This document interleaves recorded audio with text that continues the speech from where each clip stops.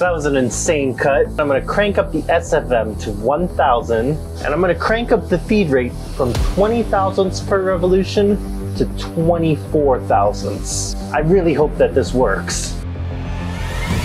Today I'm gonna be doing some test cuts in 4140 using Kennametal's new Fix 8 tangential turning tool. This is a cool tool. I'm really excited to test this out. This tangential design, the way that the insert is seating on the holder, I'm able to take really big depths of cuts with this tool.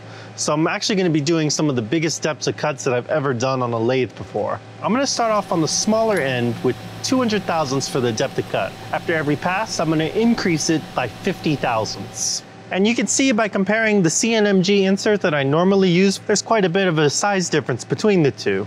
This tool is really well designed for the way that the coolant flows on it. You can see that we have two coolant ports at the bottom of the tool, and then another coolant port pointed directly on the cutting edge. I really want to take advantage of using coolant on this tool, so I'm actually going to be using the top spindle on this machine, which our LNS high pressure coolant system is plumbed for. By using the top spindle, I'm able to get 1000 PSI of coolant pressure on the tool versus the standard 300 PSI.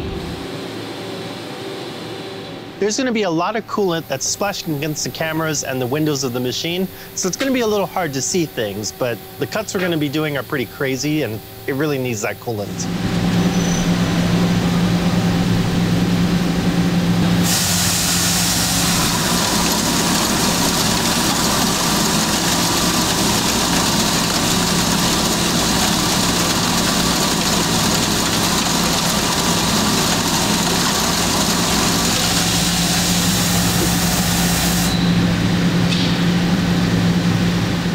Was our first cut with the tangential tool. 200 SFM, 200 thousandths per side, so 400 thousandths of material being removed all around. Cut came out beautiful. I'm gonna bump up the depth of cut by 50 thousandths. We're gonna take 250 thousandths per side on the next cut.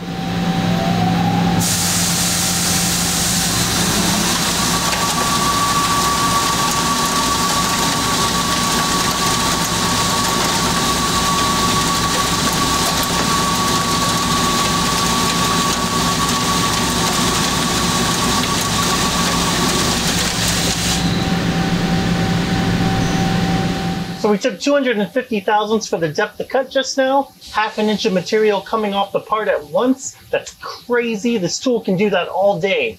I'm gonna bump up the depth of cut by 50 thousandths and we're gonna take 300 thousandths next.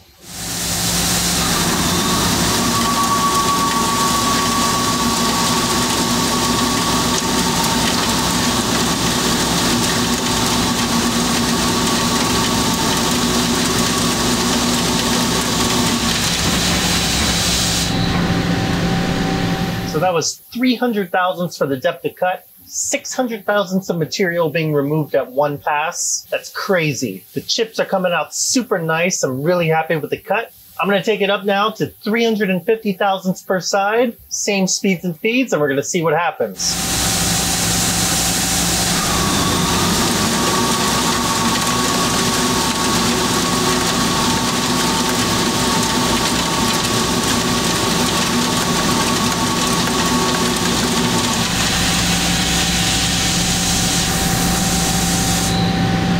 So that was 350 thousandths per wall. That was wild. I've never done that before on a lathe. I'm going to take it even deeper now. 400 thousandths per side depth of cut. 800 thousandths of material being removed at once. Let's see what happens.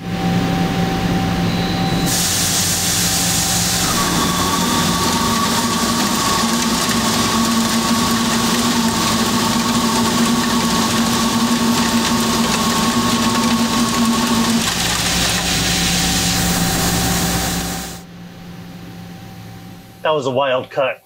400 thousandths of material being removed per side. 800 thousandths of material being removed at once in diameter. That's almost an inch of material coming off of this part. That's insane. I'm gonna do one more cut. I'm gonna keep the same depth of cut, the same feed rate, but this time I'm gonna go 800 SFM. So we're gonna run it even faster.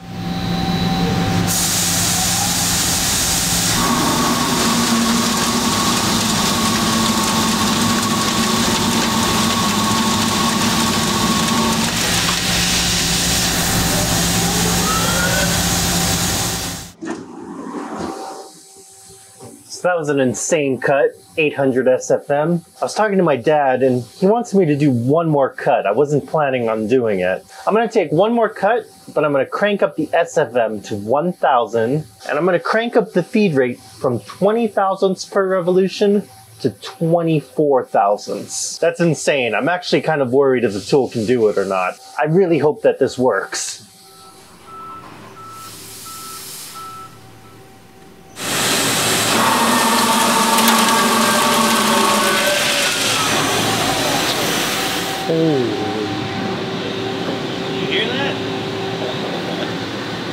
That was absolutely insane. The tool zipped across the part. I barely got to hear it cut, but the part looks great. It's got a rough finish, but no chatter. It didn't sound bad cutting. The tool looks great. I could probably do that cut some more. I wouldn't recommend it though. That's a lot of torque that's going on that tool. So you need to make sure that you have the proper setup, proper holders, proper fixturing. I would not try that at home, but that was crazy. I love this tool. I can't wait to use it on other things. Let me know in the comments what you think about this tool. And if you like what we're doing and you like what we're about, make sure you hit the like and subscribe button. I'll see you next time.